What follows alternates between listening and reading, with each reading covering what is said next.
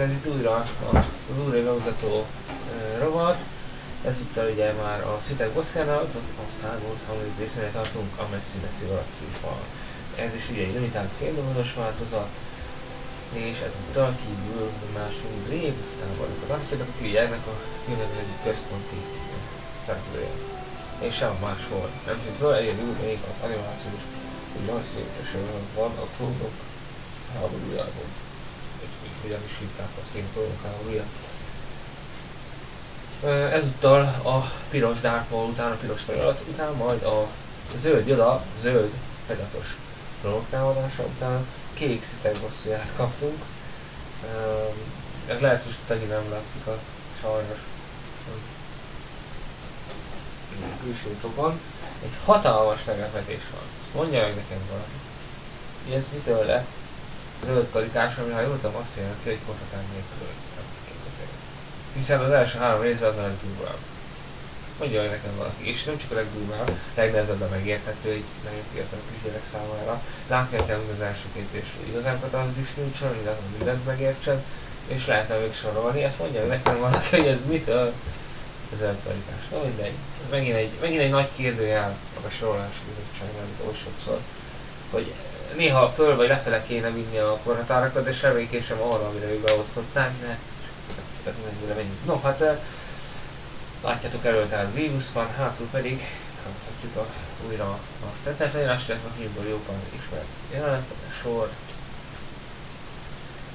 Én szerintem ezt továbbra is tartom, a harmadik rész a harmadik legjobb is a sorozatban, és ezt az utolsó Jedi-kel együttben mondom. Az utolsó Jedi lehet volna a harmadik legjobb számomra, hogyha ha nincs az, amit mondtam is a spoilermentes bemutatóban, illetve majd beszélünk a spoileres bemutatóban róla részletesebben, hogy mi az, ami még esetlegesen nem volt jó benne.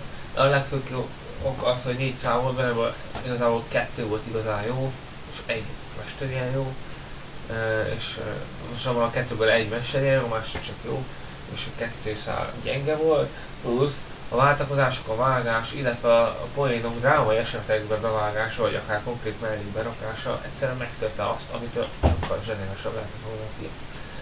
És a harmadik részben nincs ilyen. Apró poénok főleg az elején vannak, de nem töri meg, hanem belesül a cselekménybe, úgymond, az adott jelenetebe, és nem váltogatják a szálakat, hiszen igazából egy vagy max, vagy előadunk külön max két szál van a filmben. És mindegyiket nagyon szépen vezetik le. Ilyen szempontból szerintem George Lucas egyik rendezésileg egyik legjobb része is, tehát tényleg csak a négy a rendez, negyedik rész volt a rendezésileg az ő szempontjából, de nagyon egyben van az egész, tehát értsétek meg, nincs az, hogy össze-visszaválunk a Last Jedi-nál, utolsó Jedi-nél, és a poénok sem úgy van belerakva, hogy mindenhol beszorunk egy kicsit, mert mindenhol kell, mert Disney, mert ez még nem volt. Szóval itt nem is volt ennyi poén, és nem volt mindenhol beleszúrva.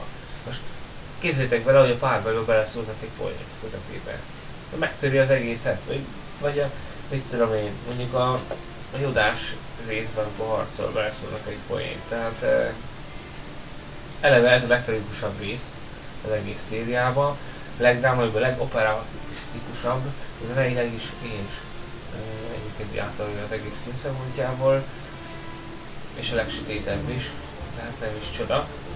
És a leg uh, jobban győzősítő dolog jelen részben, itt még nincs az, hogy happy-happy, totálisan, és nem is az, hogy csak félig meddig happy, vagy úgy, mint az Empire Strikes Back, tehát a birodalom visszaválnál, hogy azért sötétebb a vége, de a remény ott van. Uh, itt, hogyha nem tudjátok esetlegesen a a folytatásokat, akkor ebből is a remény minimális, itt is ott van csak az oly távoli, ilyen kisgyerekekről van szó, babákról, hogy még tényleg itt, itt a legkisebb a remény is. Tehát, és nekem ez rohadtul tetszett, és rohadtul tetszett az, hogy mertek belevinni a gyúra dolgokat, drámaiságot és kiütemésséget, és nagyon jó voltak szerintem a koreográfiák, sokan mondják, hogy gics faktor, például a végső csata, szerintem rohadtul nem, ha már gics faktor, akkor de tényleg csak a iroda pattogásait, meg főleg az előző részben.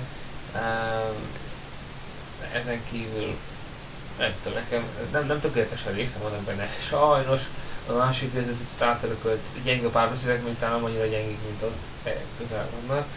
Illetve van egy-két ilyen szaponoperisztikus jelenet, meg, meg egy-két szimpadias rész, de ezen kívül nagyon sok hibát nem tudnak felmondani. Heide Christiansen Anakin Skywalkerként szerintem sokat javult, nagyon sokat, de igen. Nem tökéletes, és ez főleg a forgatókönyv bizonyos részeinek köszönhető, meg a párbeszédek, a szájba adtak. De hogy a kettőtől fényevekre van, azt szerintem biztos az alakítása. Nem tudom, mit csináltak vele, de sokkal jobb volt, nem tökéletes most sem, lehetett volna akár más is válaszolni a szereplőre. De szerintem összességében hatalmas fejlődés. Padme igazából is szintén talán jobb, mint az előző de gyakorlatilag csak a háttérre van ott is, mint egy eszköz szinte ahhoz, hogy azt történjen, ami nagyon sok mondani valója, illetve lehetőség nem nagyon magának a színésznőnek se. Mert pedig ennél tudjuk, hogy ennél jobb színésznő, mint amit itt is láttuk. Aztán ugye ott van Joda, aki a szerencsére pattog már annyira is annyit, illetve kicsit más is használták föl, mint az előző résznél.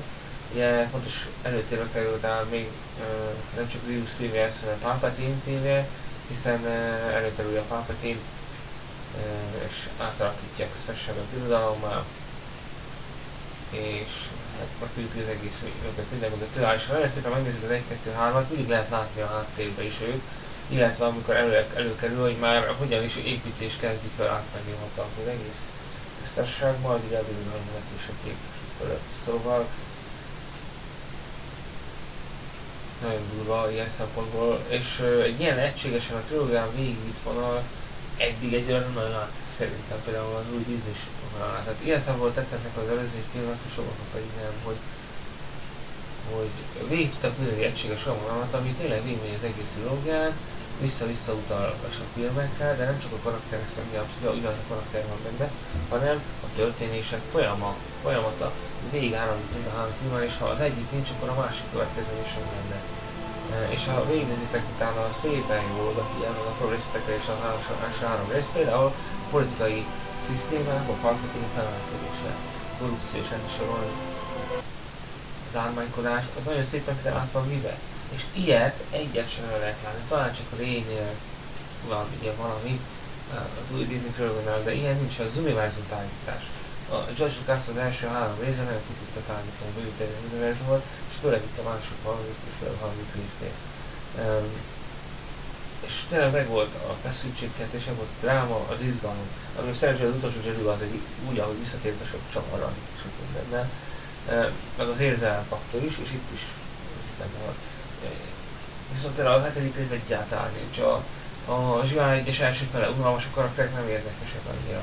A másik fele szuper. Uh, szóval érzitek azért, hogy az új részekben is vannak gondok. Uh, és a harmadik rész legalább egy egységes képet tudott mutatni, nagyon jól végigvitte azt, amit akart, a célt elérte, az más kérdés, hogy voltak benne a hogyan kérdés közben gondok, szerint a fordítókönyv, illetve az, hogy Anakin átállása az insulin szinte gyorsan lett megoldva, lehetett volna még egy kicsit csiszolni. Ezek nagyon sok negatívot nem tudnak mondani. John, John Williams egyik legújítóbb, legjobb és legváltozatosabb, legegyedibb szkórja Star Wars ever. Uh, szerintem. Viszonylag jó.